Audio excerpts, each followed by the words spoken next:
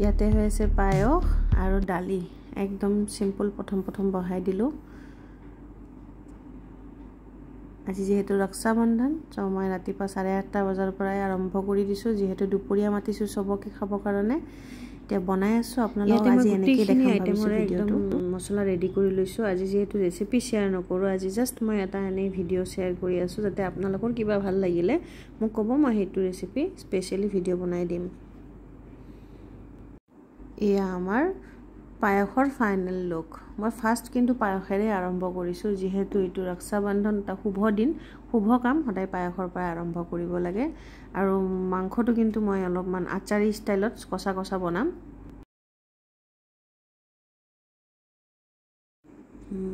মটনটো অলপ স্পাইচি বনাম। সি যিহেতু অলপ স্পাইচি খাই ভাল পায়। আৰু বাকীবিলাক চব স্পাইচি হ'ব কিন্তু চিকেনটোৱে খালি অলপ জ্বলা কম দি কিনে অলপ আচাৰ আচাৰ টাইপৰ মানে এনেকুৱা কৰি বিলাহী বেছি দি কিনে বনাম আৰু।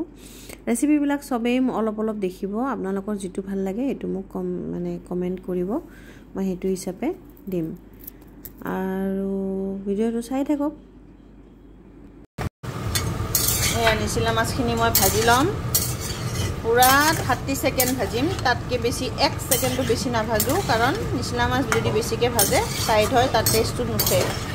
ইয়াতে মই হালধি অলপ দিছোঁ ঘি আৰু নিমখেদি ভাজি লৈ আছোঁ। এতিয়া মই হৈয়ে গ'ল আৰু ভাজি। নমাই দিম।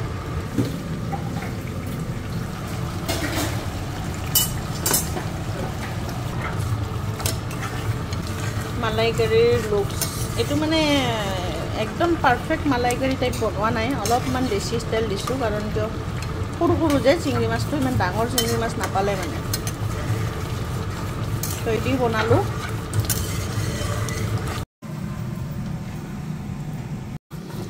ইলিচ ভাপাৰ কাৰণে বেহাৰ বটা হৈছে ইয়াতে খালি জলকীয়া আৰু বেহাৰে দিয়া হৈছে আৰু একো নালাগে। মিঠাতেল দি আৰু হালধি দি সানি থৈছে মাছটো আগতে।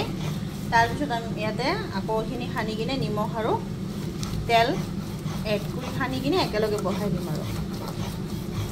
এইবিলাক ৰেচিপি মই বেলেগ দিনা দিম। আজি আপোনালোকে খালি যদি ভাল লাগে কোনোবা এটা ৰেচিপি আৰু মোক কমেণ্টত ক'ব। আৰু কিছু কিছু ৰেচিপি মোৰ অলৰেডি দিয়া আছে চেনেলত ইলিচ পাতুৰি যেনেকৈ ভাপা ষ্টিম দিয়াটো এইবিলাক আছে মোৰ দিয়া।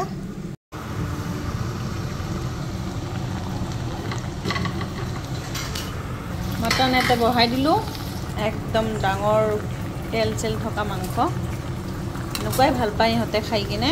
আৰু একদম চিম্পুল ৰেচিপি ইলিচ মাছৰ ভাপা একেলগে মাতি কিনে বহাই দিয়া। বহাই দিয়া হৈ গ'ল। এতিয়া হৈ আছে।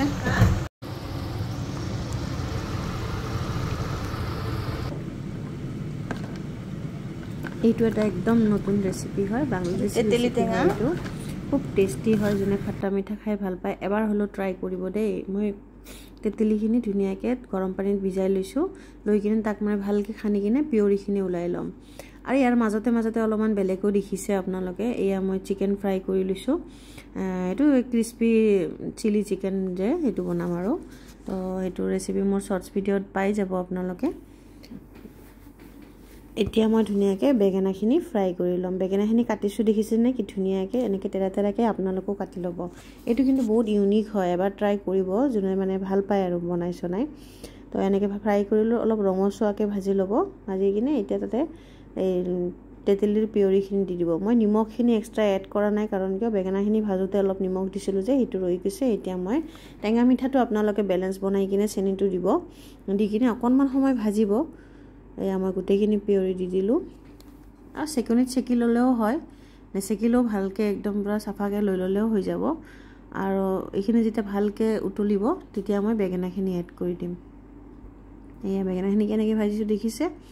এতিয়া ধুনীয়াকৈ অকণমান সময় লাৰিব লাগিব। জুইকুৰা কিন্তু একদম কমাই নিদিব ষ্টিম বঢ়াই ৰাখিব। এয়া ধুনীয়াকৈ হৈ গ'ল। আপোনালোকে যদি বেঙেনাখিনি সানি কিনে ভাজে তেতিয়াহ'লে কিন্তু নিমখ অলপ দিব। এয়া হৈ গ'ল দেখিছে ইমান টেষ্টি হৈছে ন সঁচাকৈ বহুত ভাল। এবাৰ বনাই খাব। ভোট জলকীয়া। এয়া দালি মচুৰ দালি বিলাহী দি চম্ভাৰ দিছিলোঁ। এয়া চাপলা ফুল বেংগলীত কয় মকুৱা ফুল। মকুৱা ডালটো বৰা বনাইছোঁ। কেৰেলা ভাজি।